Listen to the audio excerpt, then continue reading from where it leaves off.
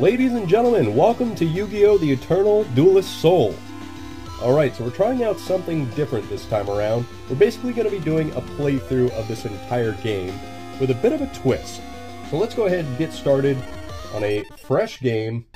And the first thing we need to do is pick out our starter deck. Now the only thing that I don't want to pick is, I think there's some kind of Exodia starter deck. That's the only one that I don't want to get, because it's probably the worst by far. So, I think let's go ahead. I think black is a safe choice.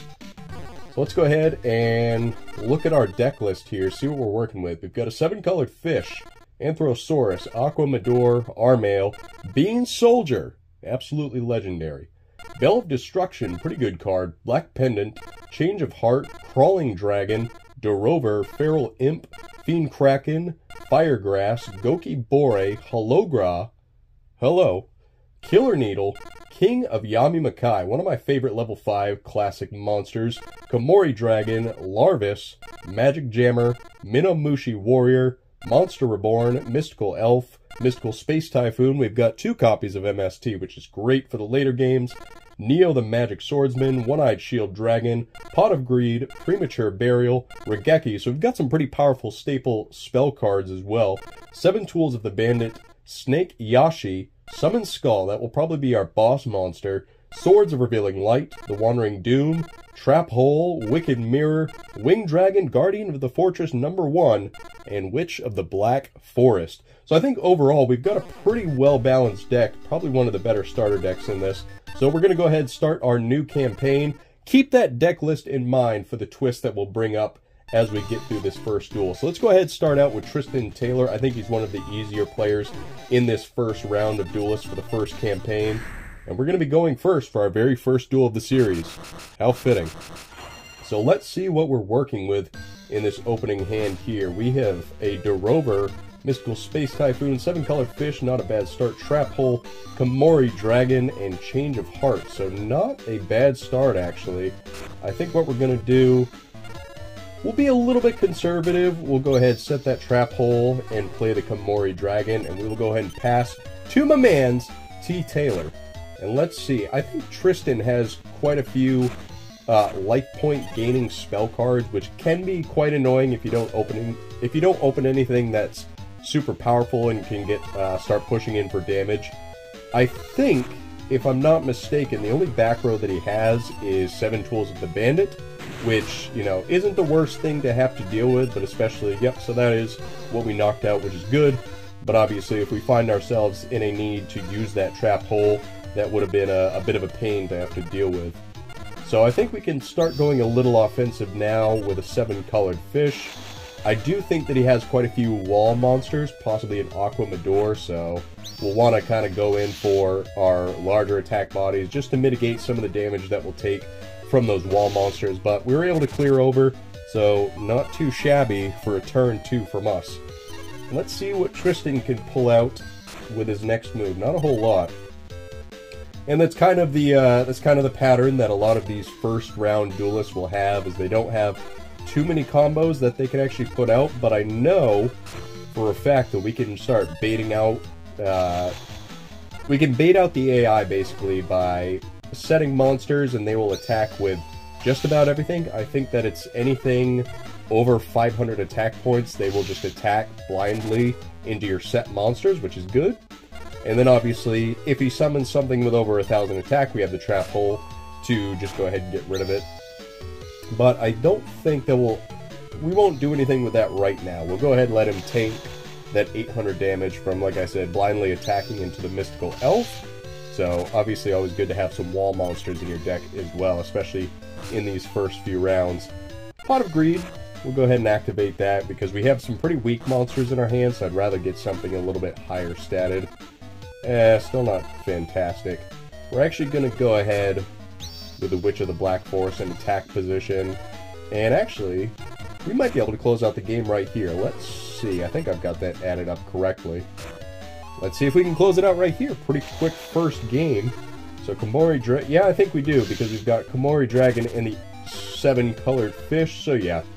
And then, you know, we'll do the cheeky move, we'll destroy him with his own Dark Assailant. How about that? And that is our first W, boys. So we did pretty all right for that first round. I mean, not that too much can be expected, just because the, they're all super low-tier decks. Uh, you know, third-rate duelists with fourth-rate deck type beats. Now, here is where the twist comes in. So, right now, I'm going to go ahead and pick the Red Eyes Black Dragon pack. So, out of this pack, we got Spike Seadra, Sandstone, Skull Stalker, Fire Yaru, and the Witty Phantom. Now, with these five cards, these are your first five cards for you guys, and you guys will be choosing what cards that I will add to the deck and what cards I will be taking out.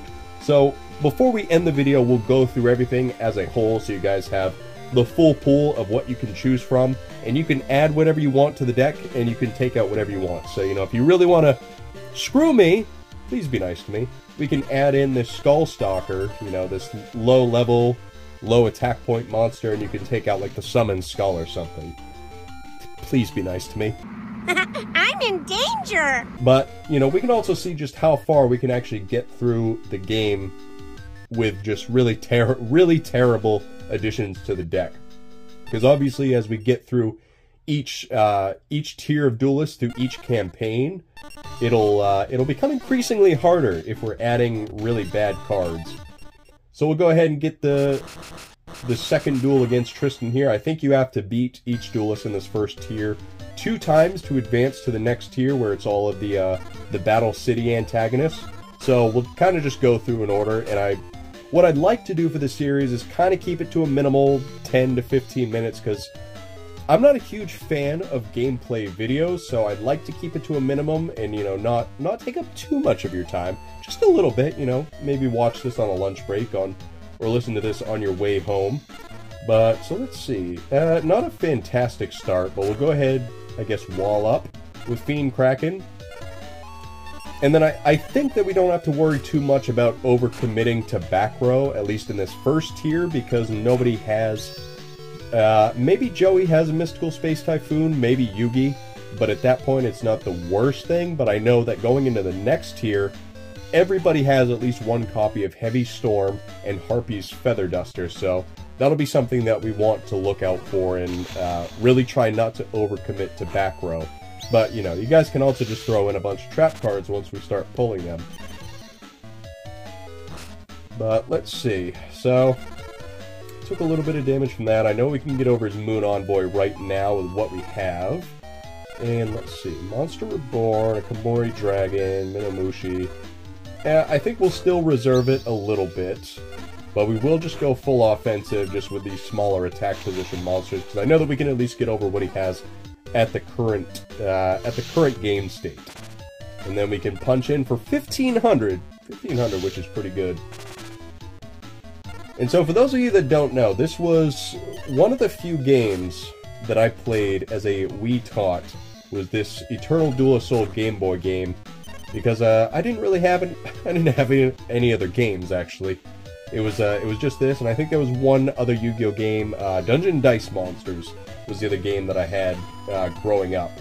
So that was uh, that was always what I did after school, you know, after coming back from a hard day's work, I suppose. And there's nothing really great that we can grab with that Monster Reborn, so I think we will just uh, start punching in again. And so, based on the time right now, we've got, we're just over nine minutes. So, oh no, yeah, okay. So I forgot about that one. I forgot that, and it's such an odd card. It's so out of left field to have that weird flip effect monster in Tristan's deck, but uh, that's what we get for overcommitting, so I was wrong about that. So we'll keep that in mind for, well, actually we've only done, or we've now done the two duels against Tristan. I've got no worries that we'll win this one. So we don't, we don't have to worry about it as much going forward, because I don't think anybody else actually has it. But let's see, can we close out the game here? Potentially. I think if we grab that Moon Envoy, and as long as he doesn't have a wall sitting there right now, but we could also get over it if we do the black pendant on the seven colored fish.